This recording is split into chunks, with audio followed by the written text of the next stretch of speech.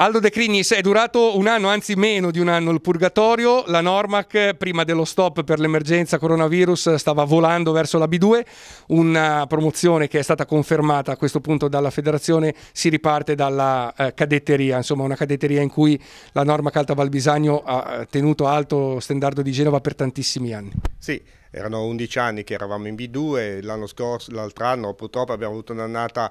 un po', un po', disastrosa sotto tutti i punti di vista. Siamo retrocessi, quest'anno eravamo primi in classifica, eravamo imbattuti, quindi era, c'erano tutte le premesse per un ritorno in B2. Poi purtroppo questa, la pandemia ci ha bloccato e la federazione, devo dire giustamente, ha riconosciuto il valore delle, delle società che stavano eh, giocando in campionati regionali e quelli nazionali e quindi siamo stati promossi. Stiamo lavorando per mettere insieme la, la formazione che possa fare una bella figura nel prossimo campionato nazionale di B2. Abbiamo un nuovo allenatore che è Jerry Grotto, che ho adiovato da Paolo Pampuro, che è anche lui un uomo di grande esperienza, che ha già lavorato in Norma, come Grotto è stato un nostro ex giocatore. E quindi insomma il presidente Mangiapane e tutto lo staff dirigenziale sta lavorando proprio per mettere insieme una formazione che possa ben figurare, tenere alto il nome della Normac eh, anche nel campionato prossimo di B2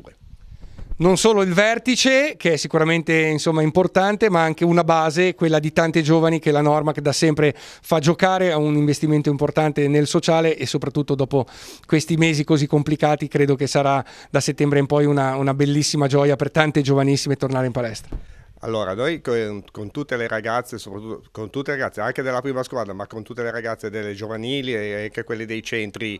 di mini volley, stiamo facendo dei, delle, degli allenamenti online. Ancora ieri sera ne ho fatto uno con le mie bimbe di San Gottardo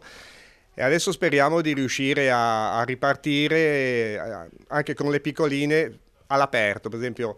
fare delle, de, degli allenamenti in modo tale, mantenendo il distanziamento sociale, con tutte le, le procedure. Roberto Maragliano ha fatto il corso da, man, eh, da, Covid Manager, quindi la società si è attrezzata proprio per eh, sanificare la palestra, per prendere tutte le precauzioni necessarie per fare gli riprendere gli allenamenti in totale sicurezza.